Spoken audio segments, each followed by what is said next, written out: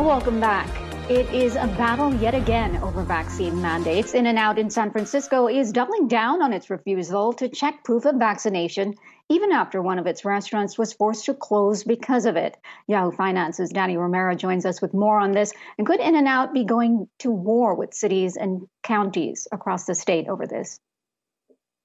Well, that In-N-Out location at the Fisherman's Wharf in San Francisco did reopen today, but just um, for takeout. So no dine in service. That restaurant did shut down because the company is fighting against this vaccine mandate. In San Francisco, the city requires restaurants to check customers proof of vaccination if they want to eat inside. And that is something In N Out says they will not do. And so health inspectors in the Bay Area did find a second In N Out location in the Pleasant Hill area. They warned that restaurant two weeks ago, and they still refused to enforce that rule, which led to a $250 fine over the weekend and then a $500 fine just yesterday. And so, in a statement, In N Out says we refuse to become the vaccination police for any government. We fiercely disagree with any government dictate that enforces a private company to discriminate against their customers. Now, it's still unclear how long that restaurant at the Fisherman's Wharf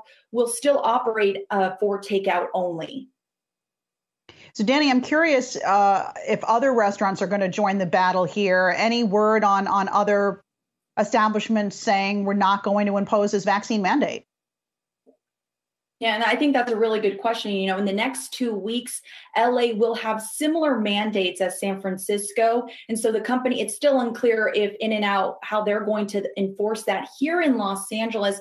But I will say this the executive director of the Golden Gate Restaurant Association says that um, in in response to In-N-Out's um, vaccine you know not refusal she says that this is more of a political statement than anything.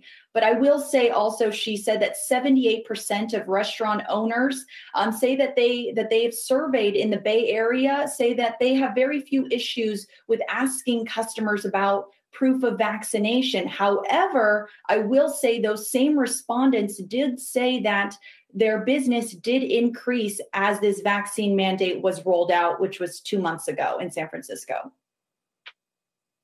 All right, Dani Romero, thank you so much for that report.